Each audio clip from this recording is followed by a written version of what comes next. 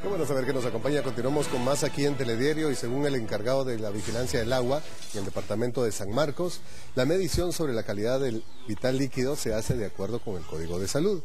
Pero ha trascendido que algunas municipalidades no cumplen con la obligación de clorar el agua. En tanto, hay gran cantidad de hogares en la cabecera departamental que no cuentan con agua entubada y se surten de un manantial que no tiene mantenimiento necesario, lo que representa el riesgo de contraer enfermedades.